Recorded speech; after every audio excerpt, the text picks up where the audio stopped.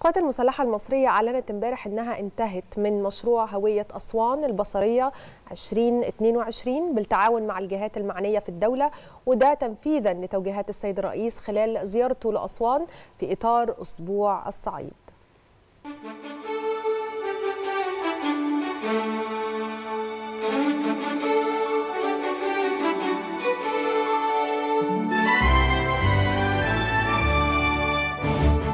يا الشمس نوري على الأرض الطيبين يا نيل إجري بالخير ليهم الدين. بإيدينا سنين عمرنا الأرض كرمنا زايد ملهوش حد وصلنا هنا من سبع جد. أسواني أنا مش أي حد. أسواني أنا مش أي حد. أسواني أنا مش أي حد. أسوان. بلاد الذهب. تاريخها يعبر عنها وحاضرها مليء بالإنجازات. هويتها مصرية تقاليدها عريقة. طموحنا أن يظل لها مكانة عظيمة بين كل بلاد العالم وفي قلب كل زائريها. فكان لزاما علينا أن تكون لها هوية بصرية. تظل راسخة في عقل ووجدان كل من يتواجد على أرضها.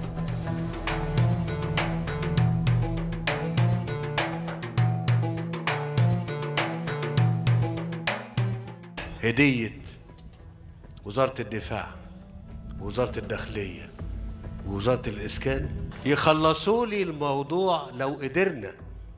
قبل يوم 15 هنبقى كلنا فرحانين. شكرا جزيلا. وتنفيذا لتوجيهات السيد الرئيس عبد الفتاح السيسي رئيس الجمهورية. قامت القوات المسلحة متمثلة في الهيئة الهندسية للقوات المسلحة بالتعاون مع محافظة أسوان وطلبة الجامعة الألمانية وبعض من طلاب المدارس الزخرفية وطلبة كلية الآثار بتنفيذ هوية بصرية لمحافظة أسوان. وتبدأ من مطار أسوان. أول مكان يراه الزائرون يتجلى في أبهى صوره. بلوحات تعكس حضارة وعراقة هذه الأرض الطيبة. بلدنا جمالها سيرة على كل لسان. تزورها مرة ترجع لها كمان وكمان. ملكة سمرة متوجة في أي زمان. ملكة سمرة متوجة في أي زمان. ثم محطة قطار سكة حديد أسوان.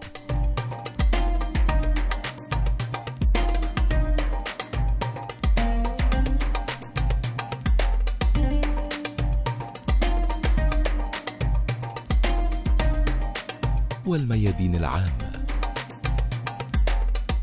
والجداريات التي تزين شوارع المدينة. مرورا بالسوق التجاري.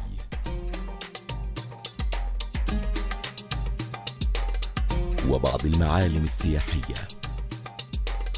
والمراكب النيلية. والسيارات التي تحمل طابعا يعبر عن أصالة هذه المحافظة. ذات الإطلالة الساحرة. وكذلك مدينة غرب سهيل ذات الطابع التاريخي الفريد. إنها وبحق إطلالة ساحرة لمدينة تضرب بجذورها في عمق التاريخ.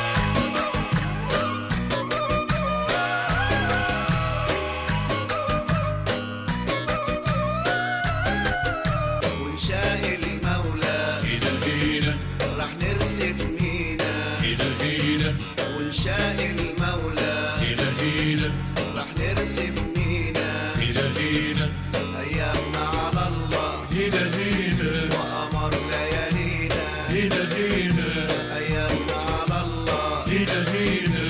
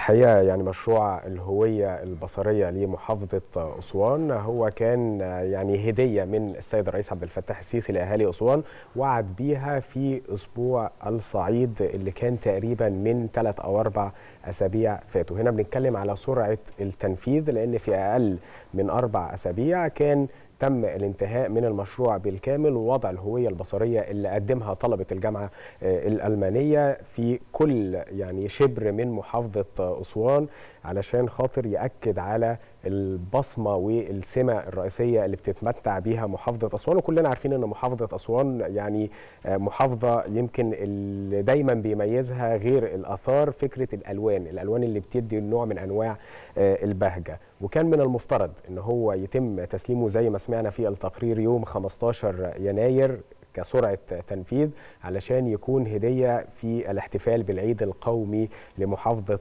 أسوان. العيد اللي بيتزامن مع ذكرى الانتهاء من أعمال بناء السد العالي 1971